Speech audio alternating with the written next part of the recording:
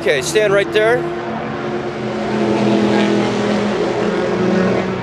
That's a pretty neat toy you got. How did you get that? Um, I, I got it from a trash can. So you went to the IMSA race and you got a front end of a Porsche autographed from a trash can? Yeah. Wow, what's your name? Trenton Moskowitz. I'm, I'm his son. Okay, and where are you from? Ohio. Ohio. Just like him. Okay, anything you want to say to mom or dad out there? Thanks, Dad. I really, I really appreciate it. Hey, hold this too. Oh, Hold it. it's all you, baby. Right into the camera. Oh, I, I'd like to say thank you to my father.